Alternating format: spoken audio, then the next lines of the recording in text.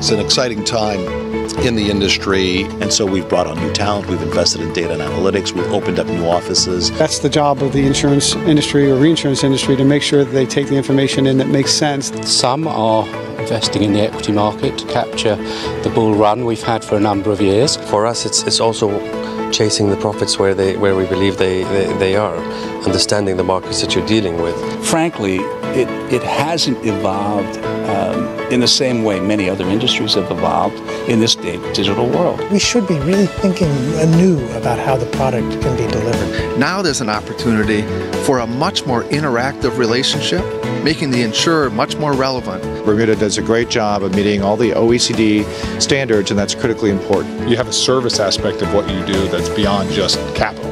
This is a time for us to show our worth in the market. We are a bit frustrated to have so much that we could do and not find the right ways to approach it. The talent that exists within London, the knowledge, the experience, all of those things are critically important. I think this will sort of start questioning um, the role that insurance has to play and can we do more as a whole sector all over the world.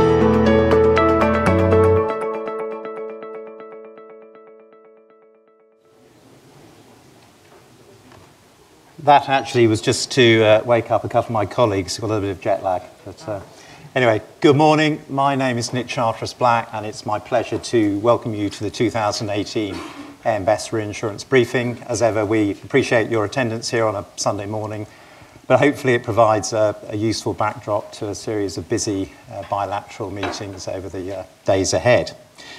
Now, just looking back to um, last year, obviously, those clips were from last year, and of course, many of you would have been here as we were wondering whether, I think it was Hurricane Irma, whether Irma was going to go up the west side of uh, Florida or the east side. Um, as it was, it went up the, the west, which I think was uh, less disastrous, but nevertheless, um, clearly a, you know, a significant year for cat events in terms of uh, Harvey, Irma, and Maria. And of course, we all know what happened next. Alternative capital uh, took to the hills never to be seen again unless it was trapped in collateralized pots. Rates soared through 1 1, 1 4, 1 7 renewals, and reinsurer CEOs started murmuring about double digit ROEs um, for the year ahead. Well, maybe not. To tell you what really happened and what will happen, um, and discuss um, really where we stand or see the market standing today, we have three presenters. On my immediate right, um, Bob DeRose, Robert DeRose, who's very much the, uh, I guess, the mastermind behind the presentation, um, heading up our sort of reinsurance centre of excellence in the, uh, in the US. Next to Bob, Tony Diodato, Managing Director, also based in the US office, who will be uh, talking alongside Bob. And then my close colleague, Greg Carter, MD Analytics for, uh, for London, for the EMEA region, uh, and from the London office, we cover the big four reinsurers. Um, these guys, their day to day, are more involved in the US and Bermuda market. So the, they're going to speak for um, around 45 minutes with the usual um, sort of interactive format, and I guess we'll mainly be taking questions towards the end of the presentation. Um, before passing over to them, I have a couple of other tasks, um, a few more introductions. So in your pack, uh, you will find uh, details of all our delegates here at uh, Monte Carlo this year. I won't introduce everybody to you, um, just to mention a couple of names, probably well known to you. Uh, Matt Mosher uh, from the US office, Chief Operating Officer. Matt is somewhere in the room. Give us a wave, Matt. Not in the room. Maybe not. Uh, anyway, Matt is here, and uh, Roger Sellick, Chief Executive Officer for Invest in EMEA and Asia Pacific, who is in the room and has given you uh, a wave. Uh, and you obviously get the chance to meet other colleagues um, both today and will be based during the week two floors up from here in uh, Salon Gustav. So uh, if you do want to drop in, then please do.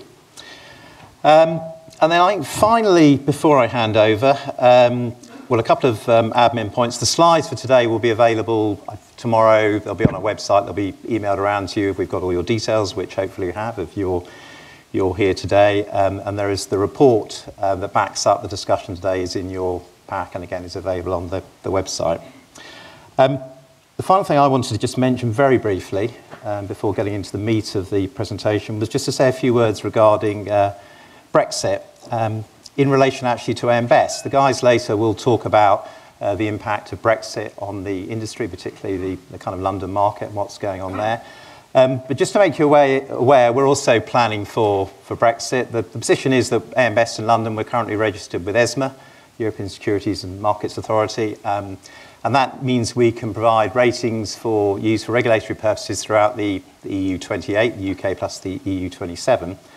Um, to maintain that access, um, assuming some form of hard Brexit scenario, we need to have a new registered business uh, within the EU 27, and we are uh, in the process of setting up a new subsidiary in Amsterdam.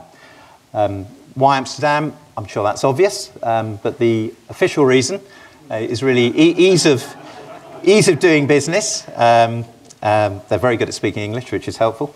Um, the, uh, the logistical connectivity with the rest of the EU27, and in terms of the talent pool that it has itself, and as a good centre to attract people both from London and elsewhere in the EU. And uh, we're on schedule to be operational. Um, we're having to assume a hard Brexit by 29th of March uh, 2019 next year. Um, but we'll, we'll keep you updated. There's a page on our website, and we'll keep you updated uh, as that uh, progress in that office um, fills out. The, uh, I should have just mentioned the, the new, our new head, analytical head of the office, Angela Yeo, is also here, and she's at the back. So uh, if, you, if, you, want any specific queries on what we're going to be doing in Amsterdam, then talk to uh, Angela. Um, so I'm nearly done. Um, We've just got to spend a few minutes reading through that, but I think we won't. Um, and that one. And then uh, I'm going to hand over to, uh, to Bob.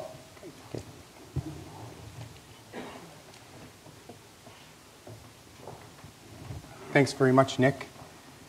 Uh, this is just a brief discussion outline uh, that we're going to try to touch on various topics this morning, starting with global reinsurance results and trends, then get into some of the issues around market capacity, um, and market evolution, I think that you know, the market continues to evolve and probably at a more rapid pace today than, than ever before.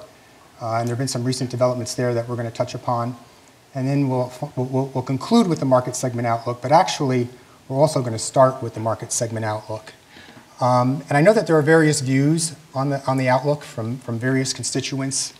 Um, quite frankly, we ourselves debated um, this outlook quite, uh, quite aggressively um, probably at, you know, starting in January when there was a lot of optimism surrounding what potential may lie ahead following the events of 2017.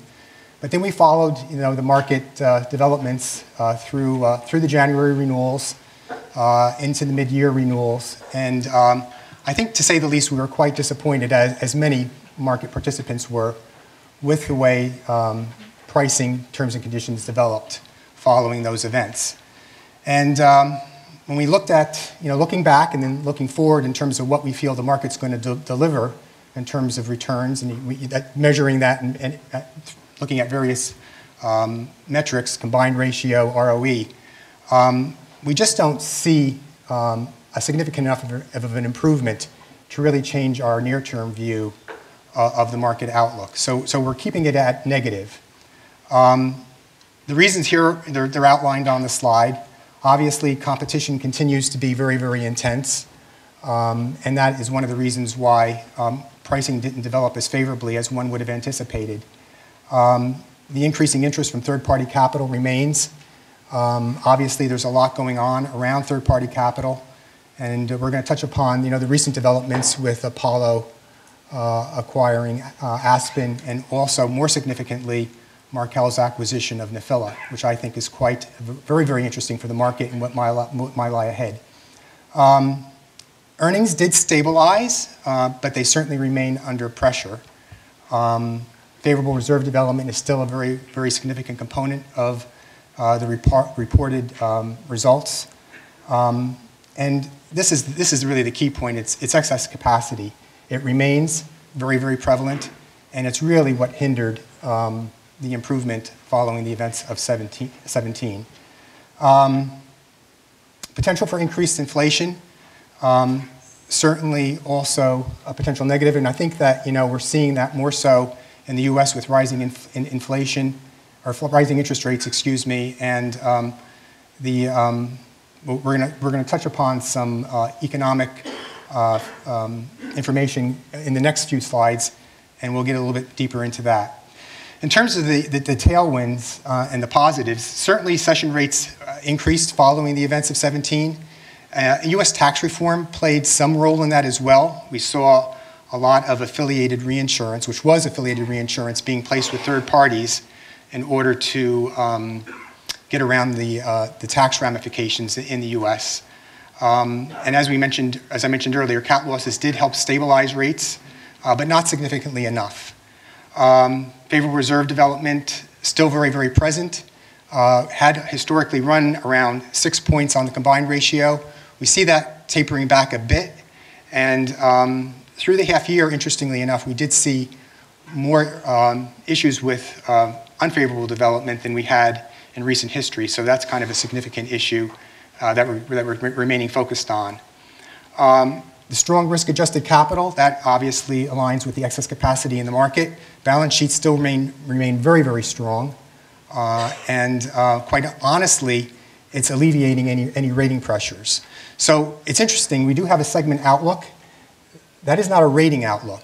Uh, I would say that the rating outlook and most of the, most of the outlooks on all of our rated reinsurers are stable. There are a few negatives, but very, very few at this juncture. And quite honestly, I don't see um, any significant reason to believe that we're going to have any material change in our view of individual ratings over the near term. Um, and then increased interest rates, obviously that plays uh, long, over the long term, that's a positive. It should bode well for, for the bottom line. It creates some near-term issues in terms of unrealized losses, which actually helps offset some of the capacity issues, but not materially enough. And then also M&A. We're going to touch upon that.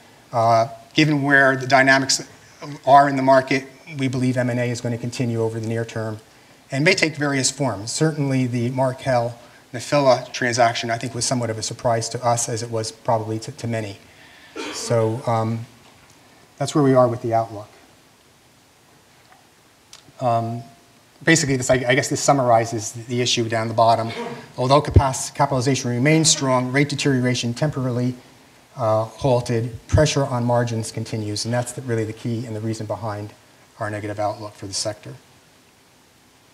So now we're going to get into some global reinsurance results and trends. And we're going to start with really a view of what's going on in the global economy. And we're going to start with the US since it's one of the largest economies uh, in the world. And I think that there's a favorable story here, at least on the surface. Uh, US GDP growth, um, inflation, and unemployment pretty much have all been um, trending favorably. Um, inflation seems to be ticking up a bit more recently. Um, the um, August job report or, or labor report um, indicated you know, continued improvement in the labor market in the US the, the unemployment rate is, is around 4%, which really is, by many, many economists, consider that to be full employment. Um, but for the first time, we're seeing wage inflation. So that's an interesting development, and if that continues, obviously it's going to um, continue to dictate future uh, interest rate increases by the Federal Reserve. Um, but the, um, the GDP growth certainly um, has been favorable as the consumer price index as, as, as well in the first half.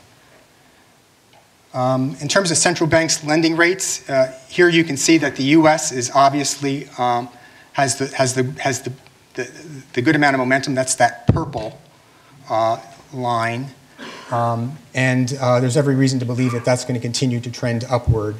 Uh, again, as I mentioned earlier, um, over the long term, that's a positive for the bottom line but may cause a little bit of um, heartburn in terms of uh, unrealized losses in the fixed income portfolio.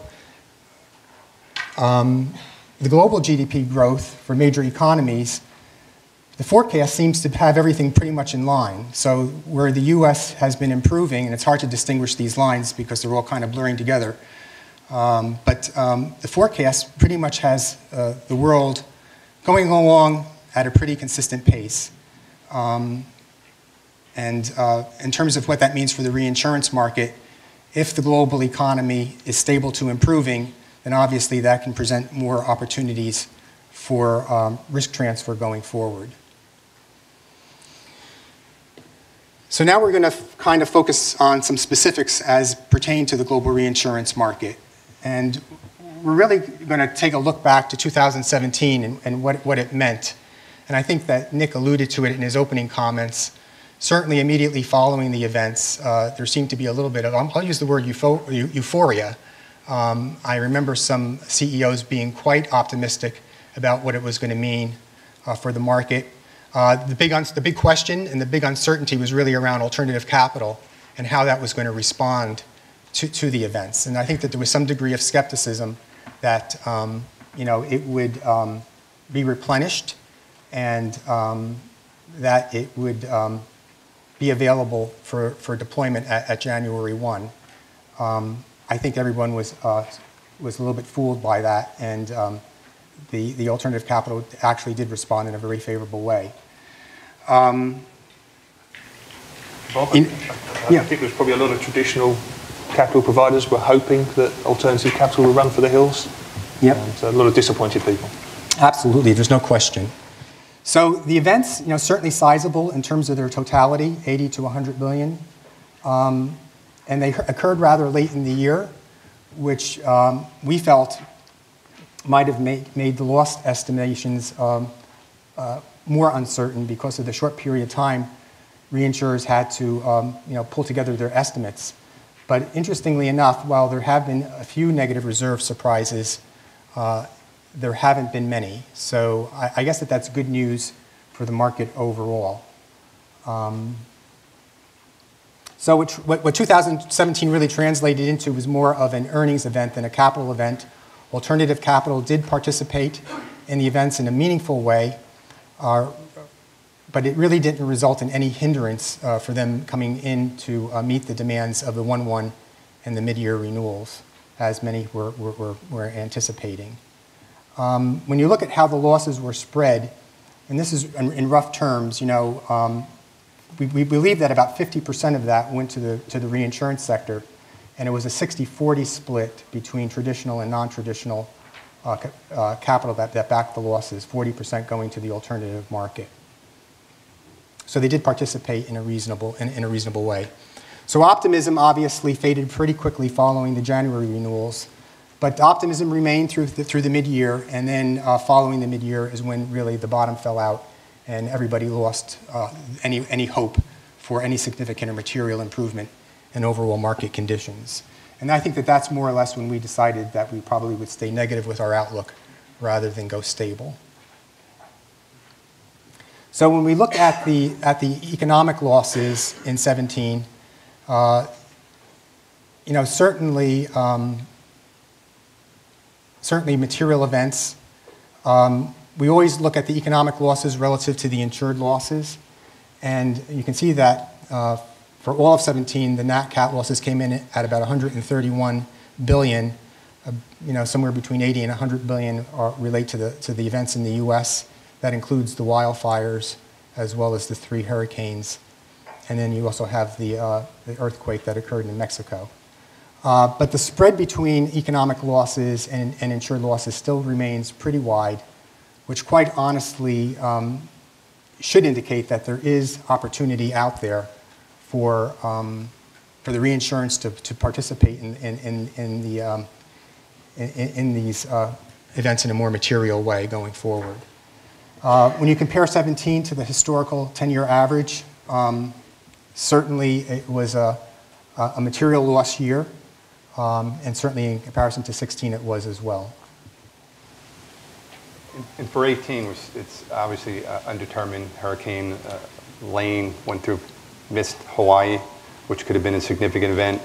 There are three teed up in the Atlantic for this year already with uh, Florence, Isaac, and Helene uh, determining where it's going. Florence now looks like it's going to be an East Coast event. So it's, uh, it has been, from a hurricane perspective, a slow start of the season, but September is the pickup month, and uh, we're already seeing a very active season, and so it, uh, those numbers are going to change pretty dramatically uh, over the next couple of months. And I think that the models are saying that it will hit as a Category 4. They're projecting right, right now, and we have some modeling firms out here if they want to chime in as a, uh, hmm. a cat a major event, a Cat 3 into a three, uh, a three. the Carolinas. Okay. So it's yet to be determined. Yeah.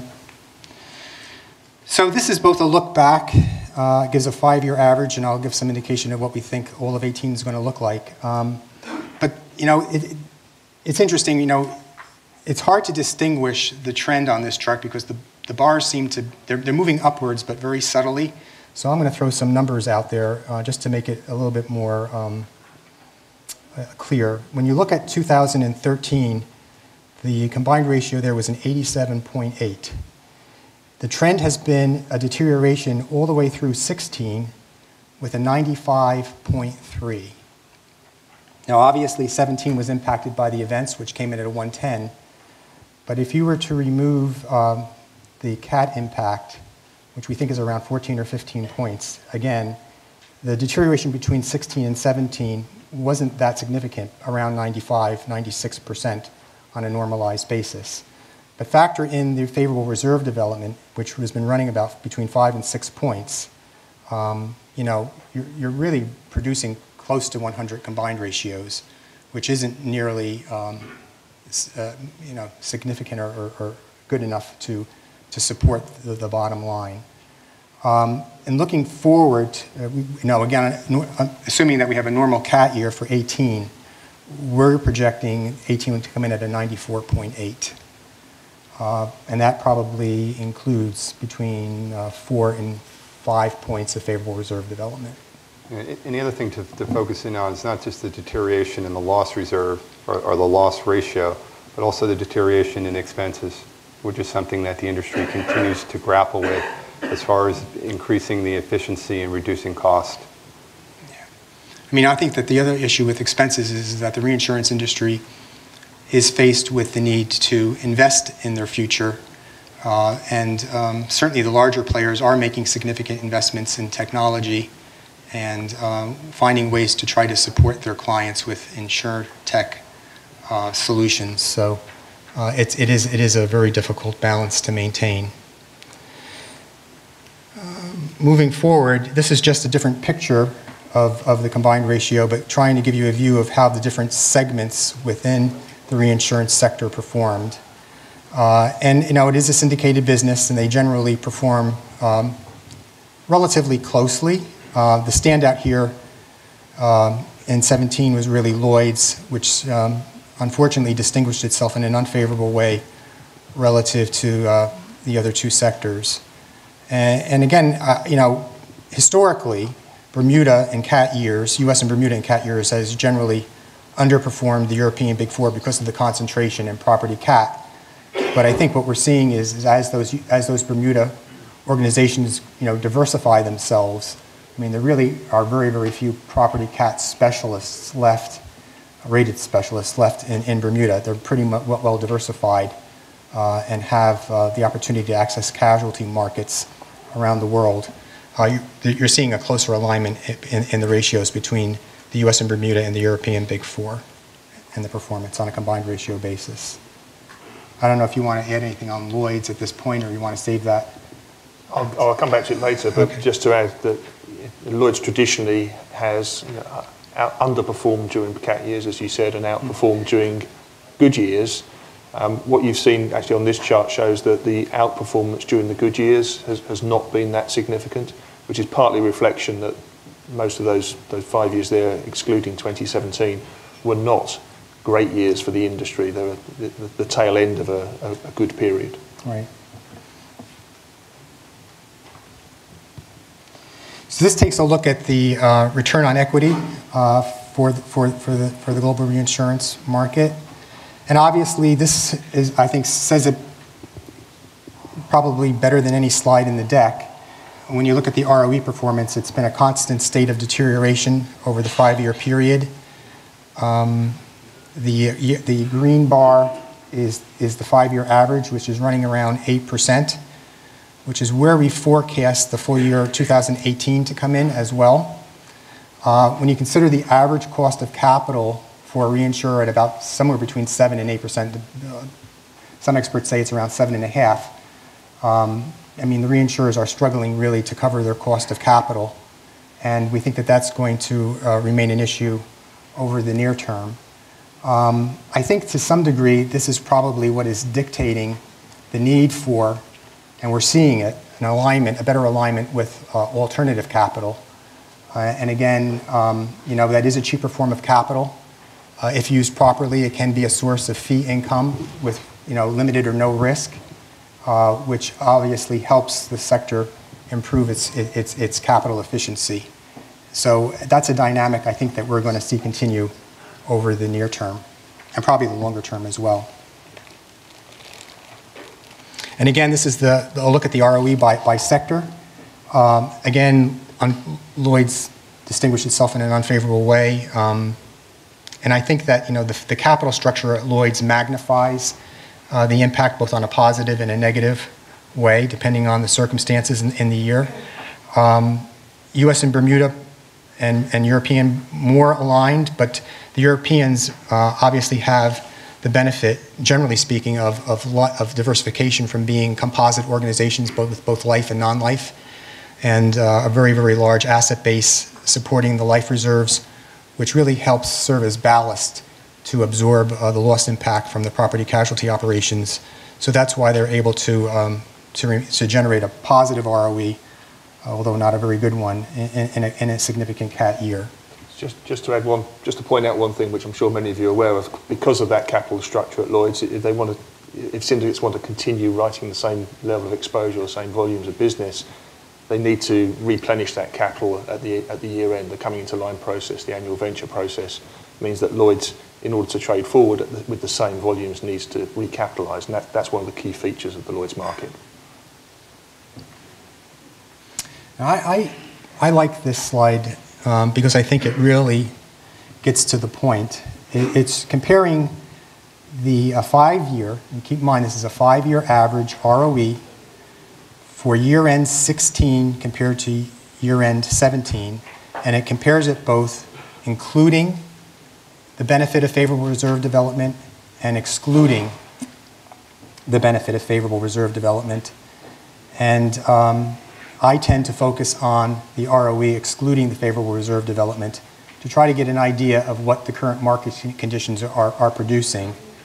Um, so, you know, for 17, the five-year average, obviously the deterioration was driven by the impact of the 2017 CAT events, uh, is down to 4.5%.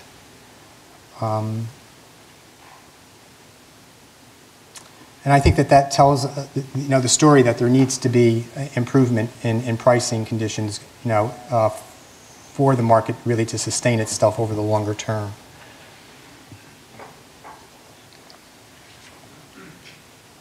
Now we're going to get into the reinsurance market capacity. Um, you know, this slide illustrates or comes from our ranking of the top 50 global reinsurers. And um,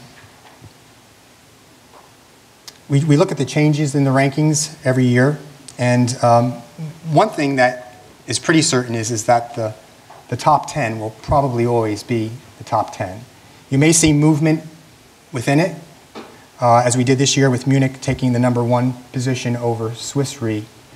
Um, and the major reason for that is, is that Swiss Re non-renewed uh, a material quota share with AIG. Um, and also, um, Swiss Re reports in US dollars, Munich reports in euros, and there was some exchange rate uh, um, benefit for Munich that, that helped lift them to the, to, to, to the first uh, position.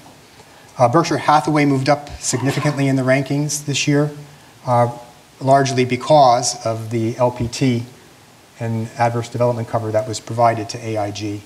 Um, again, that's a one-shot deal, so they'll probably drop in the ranking unless another material opportunity presents itself this year. Um, in terms of the uh, global life uh, reinsurers, uh, that's been pretty consistent year to year.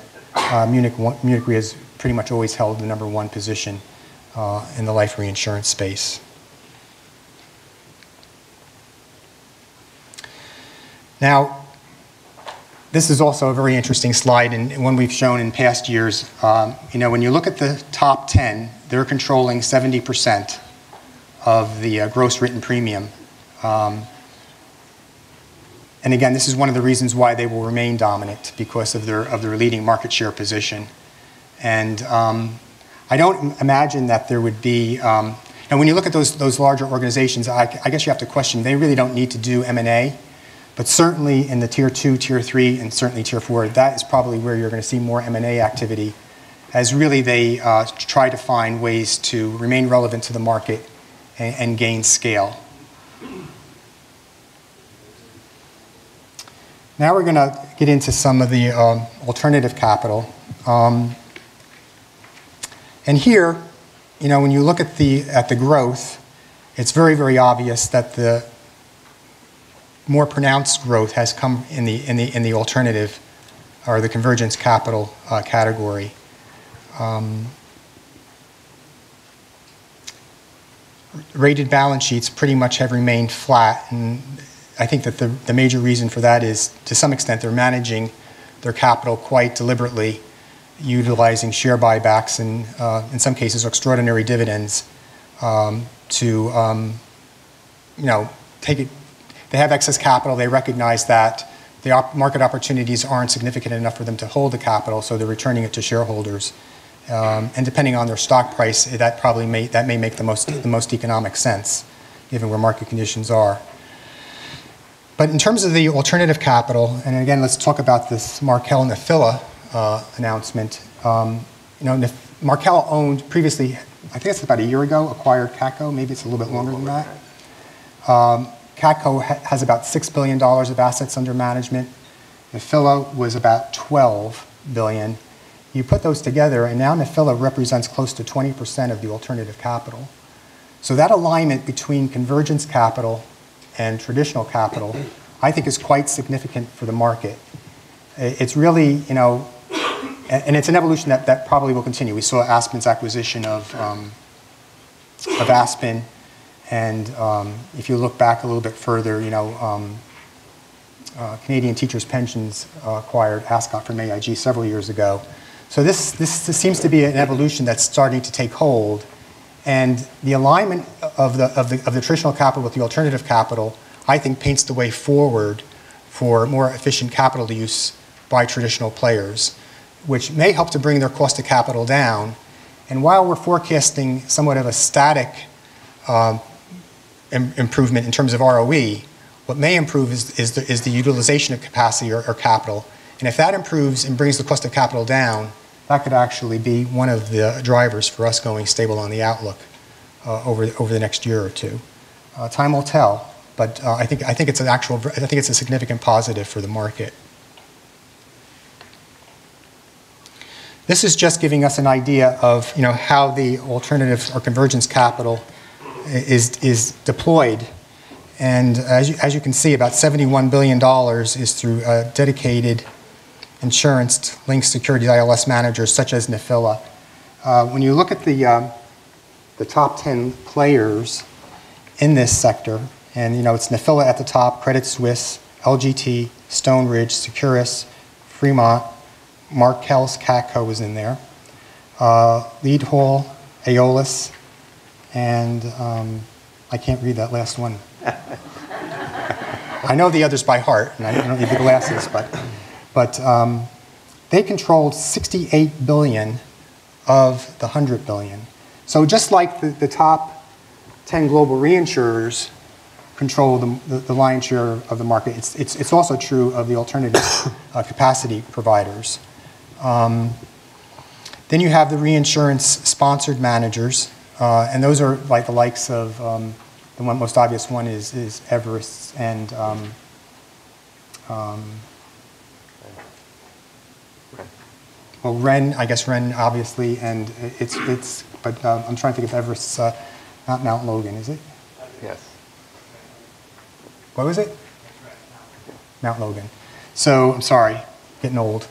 Um, but, um, you know, obviously, the uh, rated capacity is going to be increasing in terms of size um, as they align themselves more closely with the alternative capital.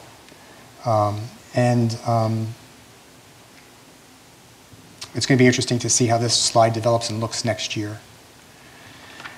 Now we're going to get into the market evolution, which I've touched upon briefly by some of the more recent events. Um, but again, I thought that this, this was an interesting slide if you, if you take a, a, look back over 10 years' time. Um, You know, the global franchises, as I mentioned, uh, remain pretty consistent.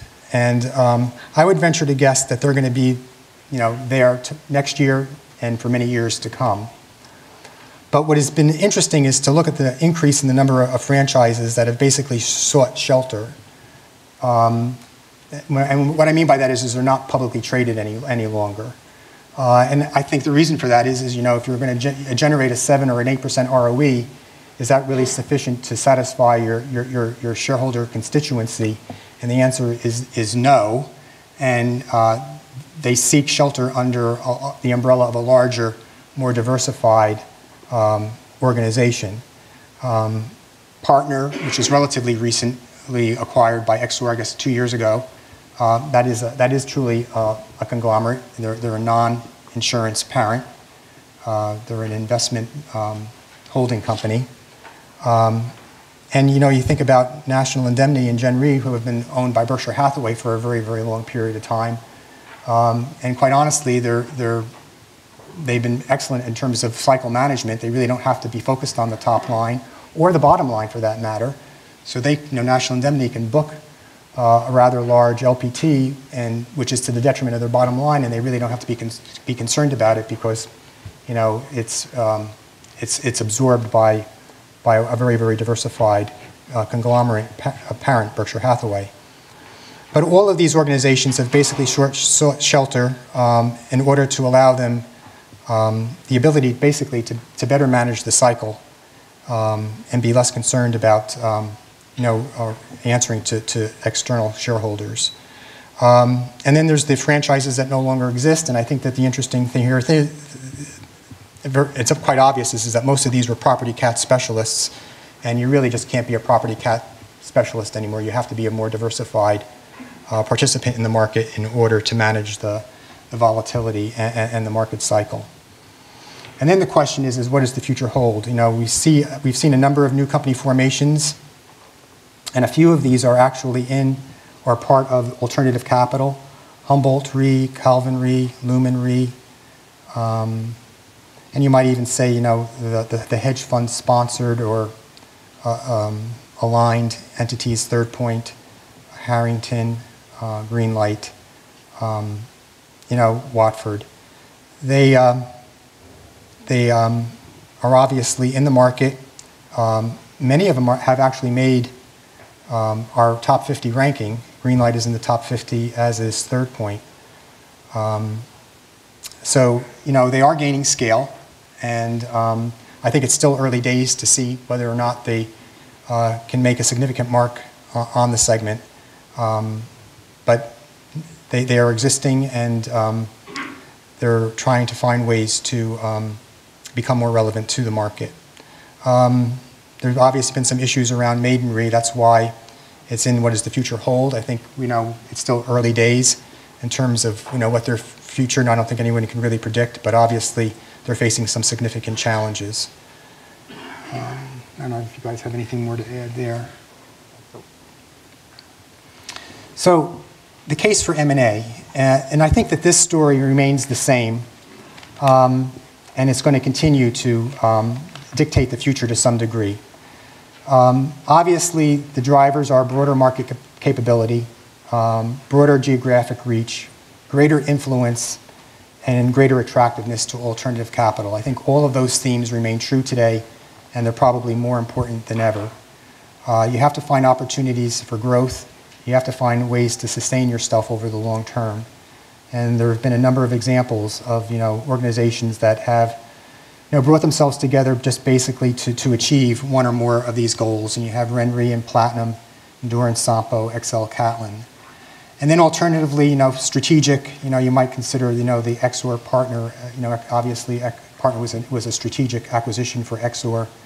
Uh, and I would say that the Markel, uh, Catco, Nephila are, are strategic in terms of, you know, them gaining the ability to take advantage of alternative capital and the fee income that that uh, type of business strategy produces. And even the AIG Validus, I think that, you know, um, uh, that, that, that was a strategic acquisition for, for AIG AIG is a pretty, you know, despite all of the issues around AIG, there's still very much a global organization, a very well diversified organization Validus really doesn't add much value in that, but it does give them the ability, quite frankly, to also access alternative capital. And Brian Duperreault was recently mentioned in the press as saying that he sees great opportunities in deploying or utilizing alternative capital as a risk management tool and diversification tool going forward. So Validus could certainly play a role in that. Um, so again, I think that this states the obvious. You know, alternative capital continues to drive a great deal of structural change in the market. However, the market continues to be heavily influenced by the global leaders such as Swiss, Munich, Hannover, SCOR, Everest Partner, and forgive me if I've missed any, anyone else in the top 10, but uh, you know, those leaders are going to remain dominant going forward and over the near term. Now, this is obviously um, slide that we've used in the past and again continues to remain very, very uh, true today and probably more so, is, is that there's definitely a drive to uh, become more efficient in terms of distribution. And all of the players along this uh, con uh, continuum here are trying to find ways to get closer and harness and, um, and basically control the client.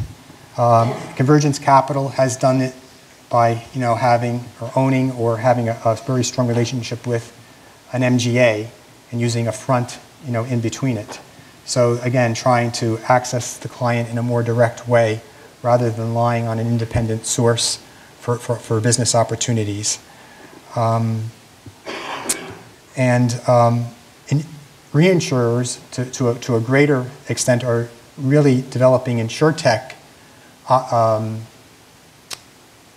initiatives to basically find ways to um, position themselves better with their ceding clients. So, you know, when you, when you think about personal lines and even small commercial, insurtech is becoming a necessity. You have to find ways to make it easier for the customer to buy insurance. And a smaller player may not have the capital resources or the technology resources to basically build that on their own. And the larger reinsurers, either doing it directly or through a partner, are developing these technology, technological capabilities and basically providing it to their clients so that they can in, in, in become more aligned with their client and um, and make it more difficult for them to um, choose another reinsurer over, um, over themselves. So this is a, an area that continues, and I think is going to, we're going to see that trend continue to evolve. Yeah, I guess just one thing to add on that. I, I suppose that, that traditional chain has been in place for many, many years. The convergence yes. capital is, is perhaps the newest element to it. But the idea of players trying to short circuit that, that process and trying to get closer to the client, trying to take cost out of the business ha, ha, is not new. That, that's been an effort in various areas that's been underway for some time. And that contrasts, I think, with the slide you put up about expenses that shows that yeah. despite all of those efforts, mm-hmm. there's really been no cost taken out of the industry in that well, sense. that, that is a, a, very good point. And I just met with a company last week, and it happened to be a primary insurer that has made substantial investments themselves in an app it, it's, small, it's small commercial. It seems to be working quite well. But you ask them the question, okay, it's creating greater efficiency for the agent, the broker, or in this case it was a wholesaler. Uh, so the question was, is well, are you reducing your commission or your compensation to that producer for the efficiencies that they gain? And the answer was no. Because there's somebody out there who will pay them uh, a higher commission if, if, if, if, they were, if, if they felt that, it, you know, that, hey, I'm taking cost out, let me cut your commission. Uh, people want to be paid for the business that they're bringing to you. So it's going to be a struggle. And we, we saw that, uh, what, 20 odd years ago with, with Direct Line in the UK. The, the idea was to cut out brokers for motor insurance. And they did cut out brokers, and what they saved on brokerage, they spent on advertising. So uh, for the customer, was, there, was no, there was no real gain. Yeah. So this is the, the evolution that's, that's really been occurring and probably will continue to occur. You know, probably 10 years ago, really, you know, I would say following 9-11 um, uh, with the birth, you know, the Bermuda class of 01, uh, you know, you saw the, the, the, dual platform emerge where you have a reinsurer, uh, you know, companioned with it with a primary business. And, uh, you know, the, back then, having both insurance and reinsurance capabilities was sold as you know giving us the opportunity to cycle manage better over the long term. Um, then you had, you know, increased um, participation and utilization of alternative capital, and I think that that is going to be an area that's going to continue and probably take more prominence going forward. And then obviously the need for, for M&A, which we pointed out already, is really a matter of relevance and size. Uh, uh, you know, you need to you need to be able to have that, but while you know remaining small enough to be nimble, and um, also possibly seek parental protection as a sheltered entity. Now, it's not all bad news, I guess. I mean, there are opportunities out there. Um, everybody talks about cyber, um, but it's interesting. Um, I think most reinsurers that are in the space feel they have to be there or they will be left behind. But I think that they're the first to admit that it is obviously a relatively new class of business, one that has a lot of uncertainty and unknowns around it. And uh, it's very, very important um, because of the relatively, relative immaturity of, of modeling. There, is, there are models out there, but none of them have really been tested. You know, you need to control your aggregate accumulations and you need to do a lot of uh, scenario analysis in order to see, well, what, what the worst case uh, circumstance be uh, should uh, a global cyber event occur? How would, you, how, how, would, how would an organization be impacted? And we have pretty robust dialogue with our rated entities around this issue uh, because it is a relatively new um, and emerging area. You know, uh, obviously we want to know what the, what the downside can be from a cyber event if, if, if they're putting out cyber limits. Flood, um, you know, obviously the, the, the, the um, National Flood Insurance Program in, in the, in the uh, U.S. Is, is utilizing and buying more traditional and alternative reinsurance protection, uh, more so than it ever has. And uh, the, uh, the, the, traditional reinsurers have certainly stepped up um, and um, are, are providing capacity for flood. Um, I don't think it's, you know, certainly the, the, first year of that program was not profitable. Um, but um, again, I think that everybody recognizes that the, um, that the private sector needs to play an increasing role in, in, in the flood uh, market. Uh, U.S. mortgage, obviously another area that has uh, grown in prominence uh, over the past several years. Um, there are about 25 markets, I believe, that are currently providing capacity in, in this, in this segment, and, and the underwriting conditions right now are very, very attractive. But again, this is a very, very long tail class of business, and it's also very, very sensitive to the economy. Uh, once you're on risk, you're on risk. You know, you go on uh, while market conditions are favorable and the, and the, and the uh, economic environment is good. But, you know, should, that, should the economic environment deteriorate and, and uh, losses emerge, you're pretty much uh, attached and, and, and, you, and you're going to have to uh, absorb those losses. So again, I think that most people who are in this space are controlling their, um, their, their limits exposed uh, as the primary risk management tool. Uh, terrorism, uh, it's been around for a while. Again, my, my, my, understanding is, is that this has generally been profitable. Um, uh, but again, it's, uh, it, it's something that we, we actually do have a terror stress test that we, that we utilize. Uh, we're very, very conscious of, of um, the exposure that it brings to a balance sheet, and we, we want to understand, you know, how these uh, risks accumulate, um, you know, against a, a, given, a given insurer or reinsurer. I already talked about InsurTech. Uh, I think that that's going to be a buzzword, uh, certainly here going forward. Um, and again, it's very, very important uh, for reinsurers to, to be involved in some way in order to um, remain uh, closer uh, to, to the client. And then U.S. tax reform, um, it obviously impacted uh, the Bermuda uh, reinsurers in a more significant way because there was a significant amount of um, affiliated reinsurance from the U.S. Uh, to the uh, to the Bermuda balance sheet. We obviously saw a significant restructuring there. Um, that um, that that is, I think, worked itself through. Um, but also, interestingly enough, uh, those organizations, um, multinationals that utilized uh, reinsurance, uh, you know, to their European uh, parent, uh, there's been some restructuring there, and we've actually seen it uh, present some opportunities to unaffiliated reinsurers to take up the uh, uh, capacity lost as a result of U.S. tax reform, the internal capacity utilization from U.S. tax reform. Just two points on, on the flood and terrorism in the, in the U.S. It's, it's a very political type of programs, and every year or every couple of years when flood comes up, it is debated and it takes a long time to get it passed. And terrorism will come up in 2020 uh, at the end of the year. So in the current environment, and this is not a political statement in the U.S., we don't know longevity of those programs and, and what form they will take in the future. So those are things or opportunities um, if you can get the pricing what it needs to be. So now we're going to take a look at London and regional markets. I'm going to um, let Greg handle this. Thanks, thanks, Bob. So just a few comments really on, on the Lloyd's market, given its, its prominence in the, in the reinsurance sector. This slide, um, there's a lot of information on here, so just to briefly explain it, the, the, the two blue bars are talking about 2016 and the red and green are 2017. And the dark blue is uh, the accident year 2016 results. Uh, the lighter blue, lighter blue shows the benefits of prior year reserve releases. Uh, and I guess so, so the key message to, really to pick out from this, this is broken down by the key lines of business that Lloyd's writes. Uh, the key message really is that in 2017, the accident year results are uh, above 100% combined ratios in all classes of business. Uh, and that's um, you know, highlighted by some of the earlier slides. So that clearly shows some of the pressures that that market is under.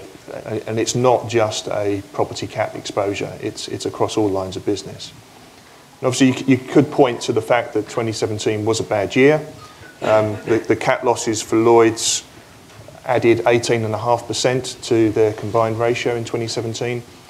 And it's important to point out that that's not out, out of line with expectations. De- depending on how you modelled the events of, of last year, um, if you look at the losses across the industry as a whole, then um, indications from the modelling firms that, and, and many of the companies that we speak to suggest that those losses for 2017 were in line with a, a, somewhere between a 1 in 12 and 1 in 15 year event. Uh, and even if you look just at the US exposures, then you're probably looking at a 1 in 25 year event. So they're, they're, they're not that unusual and, and not to be expected. Uh, as I mentioned, though, the, you know, the, the, the run rate for all lines of business, all major lines of business at Lloyd's is, is now above 100% combined. And uh, I mean, the, the, uh, Jon Hancock heading the, um, the performance management team there is taking action. And it, it's very difficult from the outside to see how effective that is. And clearly, uh, changing underwriting results doesn't happen overnight. What, what is clear, though, is we can see that there are a number of syndicates pulling out various lines of business. Now, is that, is that down to Mr. Hancock's activities, or is it syndicates themselves realising that these lines of business are unprofitable? Um, but it is clear that the, the screw is being turned, but to turn results around will take many years. That's actually, you know, a very important point to emphasize because that's actually very favorable for the overall market. Uh, obviously, um, if capacity becomes tighter at Lloyd's, it can translate into better opportunities and better pricing, uh, you know, for the larger for the market for the market at large. So. Yeah. I guess the, the, the, question then is if there's a, a tightening of standards and a, a, focus on underwriting at Lloyd's, how much of an impact does that have on the market? How much does a, would a, shrinkage in alternative capital have on the, have on the marketplace in terms of adjusting pricing? Uh, answers on a postcard, please. Um, so, uh, just to highlight some of the challenges, clearly uh, all lines of business are facing extreme competition. Um, Lloyd's has traditionally had an expense ratio that's higher than the market, and that's very definitely the case now. Um, and that, that, that difference is, is probably wider than it's ever been. Um, Lloyd's does face the challenge of uh, the growth of other regional hubs that perhaps would slow or prevent some of the flow of business that traditionally would have come to Lloyd's, and that, that business traditionally would have been more profitable. Uh, and then internally, Lloyd's is facing the challenge of, of re- reviewing its own structure, trying, trying again to manage its own expenses uh, and the target operating model that, uh, that they're trying to implement there. Uh, and of course, we've seen the de- departure of a number of senior positions within the Lloyd's market. Um, the chairman has not been there that long. The, the, the, CEO, we have a new CEO joining fairly soon. Um, we have uh, the CFO position becoming vacant, and the chief commercial officer and head of the of Lloyd's Brussels um, has also announced his departure, uh, Vincent Vandendael, to, to Everest Re. So there's a, a, bit of a, a, change at the top, and I, I, think it, it raises the question about the position of Lloyd's in the marketplace and, and what does the Corporation of Lloyd's provide uh, and, and what, what, does, what does the future of the market hold. And you can take a, a very sceptical view and say, since the advent of corporate capital, Lloyd's has been on a transition to becoming ultimately a trade association. Um, I, I, think that's too extreme, but I think there are those pressures. If you go back pre corporate capital, this was a market that was supported largely by innocent capacity, innocent capital, and the role of the, the, the central body at Lloyd's was to provide direction and control. You've now got a marketplace that is increasingly a, a, it's a, a collection of a small group of large players that are dancing to their own tune. They, they, are satisfying their own shareholders. So um, yeah, John Neal has taken on a, a, pretty tough challenge, I think, in terms of, of where, does, where does Lloyd's strategically position itself in the marketplace. And of course, there's the, the small issue of Brexit to deal with, um, which for Lloyd's, uh, they, they've solved in terms of access to business through the creation of Lloyd's Brussels, um, which we assigned a rating to earlier this year. Um, Lloyd's hasn't addressed, um, at least not publicly, one of the other issues that, that does affect many of the UK companies, and I'll come back to that in a second. But just to talk about how, uh, particularly the UK companies are responding to Brexit, we've seen a number of company establishments in Europe as companies position themselves in order to continue to access that European business that, may not, that uh, they may not be licensed to write as a UK company going forward. And we've seen companies set up in a, a number of jurisdictions. Um, this chart here, uh, the, the size of the boxes indicates the, the number of establishments uh, of companies that have set up um, EU27 based subsidiaries, uh, and Ireland and Luxembourg uh, are, are, clearly the bigger winners. Um, there's a lot of factors that have gone into why companies have chosen each of these venues. Um, it could be tax issues, it could be their view of the regulatory regime within those territories, it could be access to their clients and client pro proximity, or a view on their access to talent.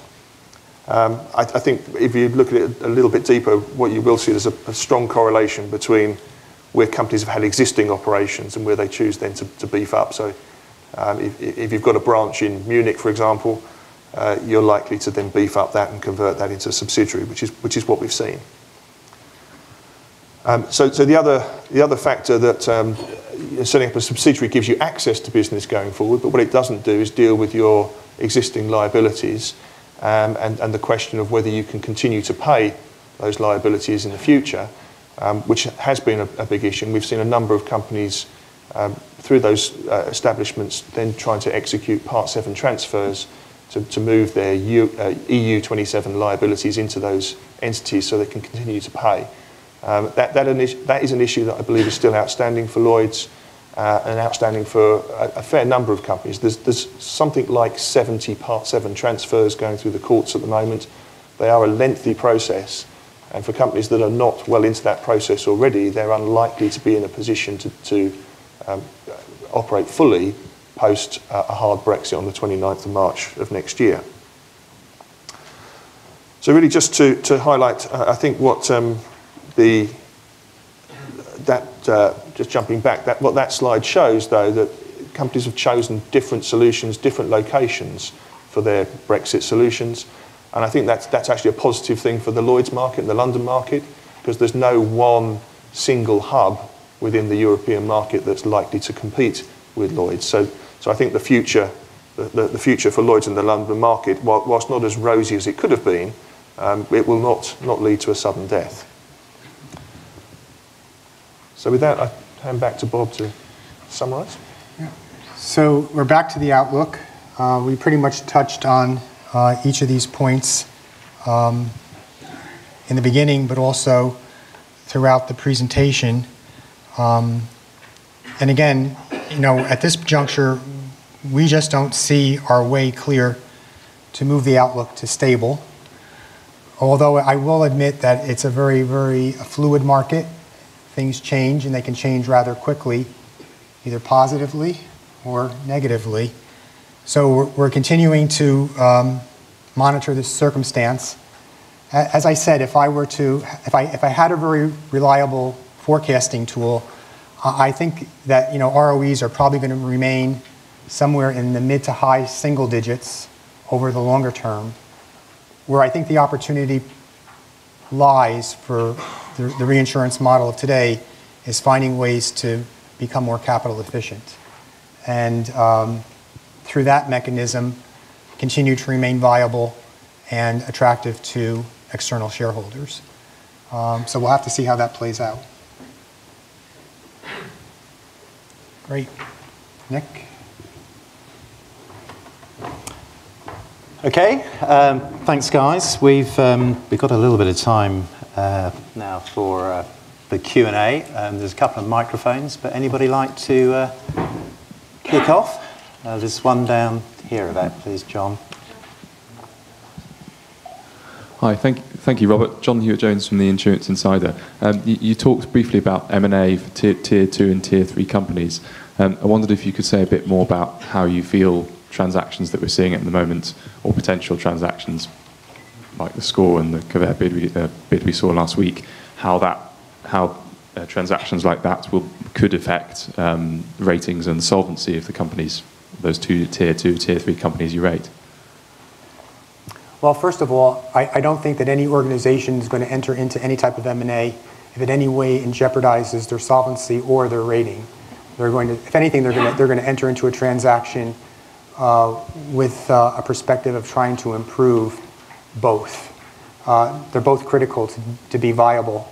Uh, and um, if, if, if there were any doubt that uh, if, if, if, an, if a transaction were to put either of those two issues into doubt, I don't think that the, that the transaction would, would be successful. It, it wouldn't come to market.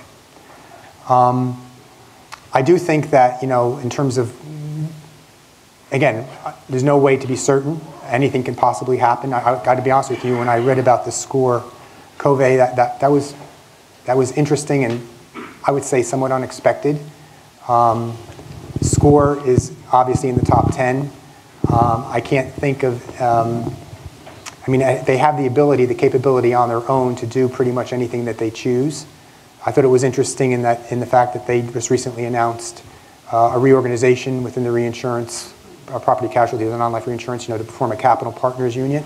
I think that that's part of this evolution of traditional trying to align itself more closely with alternative and also with traditional players trying to find ways to take advantage of insurtech opportunities. So that, that wasn't surprising. But SCOR, given its size, its scale, its relevance, they have the capability to, to take those types of initiatives and to execute on them and to, and to be successful. Smaller players, you know, with, you know, I don't want to say that they're capital constrained because everybody has, I would say, as far as I know, everybody is pr- probably in uh, what I would say is an excess capital or capacity position. But again, it's more difficult for them to, to, to lever those types of opportunities. Uh, they have external shareholders, um, and they're probably under more pressure from um, a profit perspective, and um, they're probably a little bit more cautious in terms of taking on additional expenses to execute on those types of strategies, just because of what it means for the bottom line. It's not, it's, you can't diversify that type of expense away as easily. Just, just a quick comment on the, on the economic logic of, of Covea SCOR. In a market where you've got those depressed returns and return on equity being uh, uh, you know, in the numbers that, that Bob's talked about, the, the economic logic of, of putting together two groups like that brings a, under Solvency II, would bring a reduction in required capital because of the diversity of the two businesses. So in effect, you could run both businesses on a, a smaller combined capital base and therefore improve the ROEs.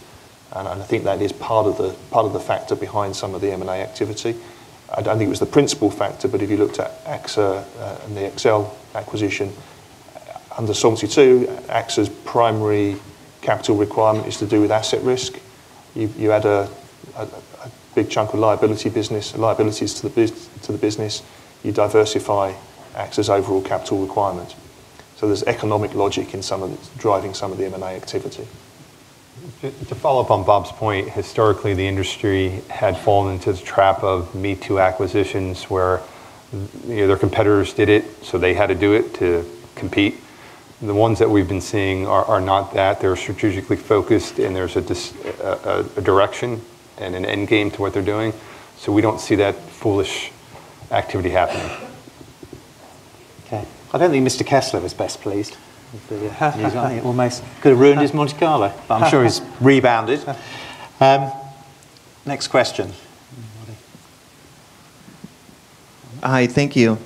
Uh, in this year's annual letter, Warren Buffett again talked about the likelihood of a $400 billion event and how ill equipped the industry is to deal with that. Is that something at all that factors into your consideration? How low are the odds of something like that happening? And how well prepared would the industry be for a mega event, I think he called it? Thank you. Okay.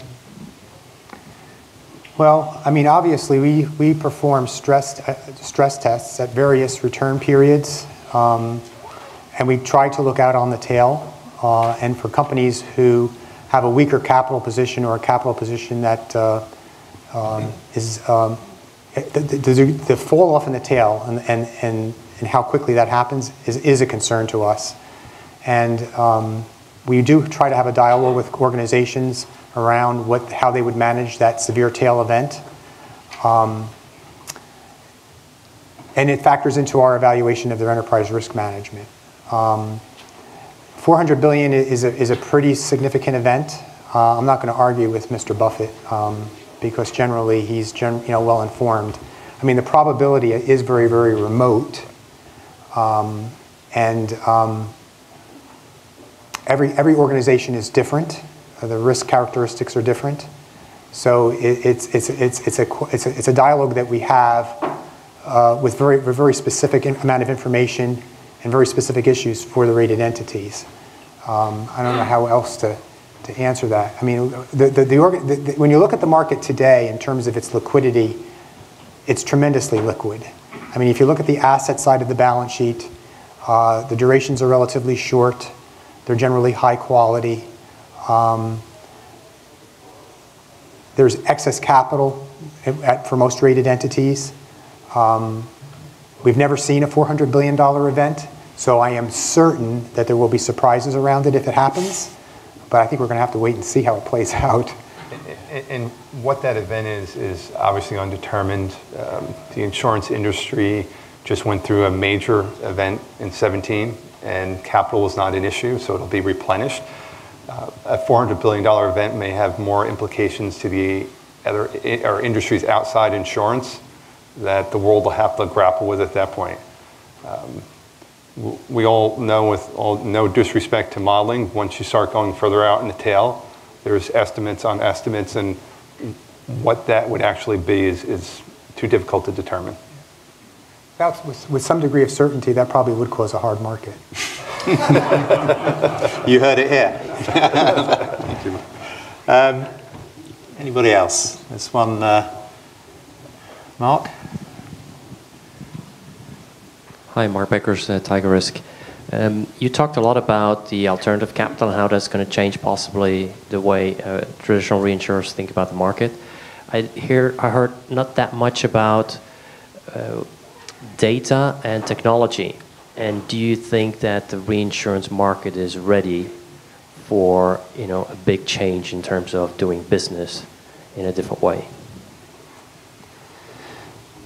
Well, I think that you know I think the reinsurance you know, people talk about insurtech, and I think that insurtech opportunities, as that relates to reinsurance, are somewhat limited. I think that insurtech is more focused on primary and what op- and the opportunities to get closer to the client and make it more efficient for the for the agent, the broker, and the wholesaler to basically distribute that pro- product to the ultimate insured. So when you think about reinsurers, I mean, I think they're pretty well sophisticated already in terms of the modeling capabilities that they have, uh, in terms of um, you know their pricing uh, uh, uh, infrastructure and, and, and, risk management. Um, you know, there's, there's a lot of talk about blockchain and how that could bring efficiency uh, to, the, to, to, to the reinsurance um, uh, cycle of distribution. Um, I think that there's a lot of um, doubt that it will ever be successful only because you have to get cooperation uh, across a, a broad uh, you know, number of, of reinsurers, and I don't know if they've, if they're, if that level of cooperation is really there yet, uh, but it's a possibility. Um, so I tend to think of reinsurers as being pretty, pretty sophisticated and far advanced in terms of their, their, their data and their technological capabilities. And in some respects, they've been ahead of the primary sector. Um, brokers have to play a role in that too. Um, that, that's, I, that, could be, that could be an opportunity or a challenge, depending on the degree of cooperation that, that we're able to, to, to, to get out of, out of the exercise. So, um, I don't, you know, I don't. No? Um, time probably for one, one or two more. So one down there. Yeah. Uh, maybe a question on reserves. You talked about capital, but reserves. How has reserve adequacy developed over the last five years? And do you think that reinsurers allow for a rise in inflation, which you touched upon? Yeah, um, good question. Very good question. Um, I, I personally feel that reserving is thinner now than it, than it ever has been, and I think that that's just a logical conclusion to come to given the market dynamics. Uh, pricing has eroded, um, and um, you know, people, actuaries tend to look back, maybe more so than looking forward. Uh, inflation has been very, very muted, so we've become, I'm going to use the word complacent in terms of uh, possibly considering, you know, what a rising inflationary environment might need for reserves. I do think that was interesting, you know, when you look back, you know, we've had quarter after quarter after quarter, pretty, pretty consistently across the broad base of reinsurers saying favorable reserve development, favorable reserve development, favorable reserve development. We're starting to see more one-offs of adverse development. So I kind of think that that's a little bit of a warning sign. I will say this, that when we talk about reserves with our rated carriers, everyone tells us that they're putting a margin in. Uh, but that's easier said, I think, than done. And then there's the question of whether or not it's an adequate margin if they are indeed doing what they're saying. I would think that I, I personally believe that given you know what we're starting to see, it, it, there's there's probably going to be more issues around that question going forward than there have been historically. But again, I mean, I, yeah, I have a, a view that claims inflation is leveraged to general inflation. And we, so we had that benefit of very low inflation across all, all major markets for a long period of time. So claims inflation has, has trailed away as well. As inflation picks up, I think claims inflation is, is leveraged to that. I'm, I'm struggling to prove it mathematically and get the data, but certainly the circumstantial evidence points to claims inflation generally running higher than general inflation over the, over the long term. So I, I think there is that, that there will be a, a potentially a delayed effect as, as claims inflation seeps through. And, and the assumptions that you make on reserving, the, the assumptions you make about inflation in your reserving is absolutely key for longer tail lines of business. So I, I, I share Bob's view that I, I suspect reserving is probably at it generally across the market at, at its thinnest in terms of, of what, what margin there remains. And the concern is going to be as the global economies start to stabilize and, and hopefully see growth. If you don't have the underwriting discipline, mm-hmm. you may be getting the growth, but if you're not getting your reserves your, where, where they need to be, you're going to have that dynamic where you're going to have problems in the future. Now, the counter to that is interest rates are rising, so that hopefully that translates into a little bit more investment income, which helps to absorb the adverse development from the underwriting side. And then the other potential positive, I mean, it's kind of hard, but it could actually mean better underwriting discipline going forward and more pronounced improvement in pricing going forward. So, Uh, you know, how it all comes together is anybody's guess, but there are, you, you could try to be, be optimistic and say that maybe that, that's what the market needs to, in order to move it forward and move it forward in a positive way. There was just an article out today by Swiss Re saying Western insurance markets in Japan need somewhere between 5 and 9% rate increases to justify profitability in the future. So the need for rate can't be overlooked because of better interest rates and a better economy. Okay, anybody else? Sir, one at the back.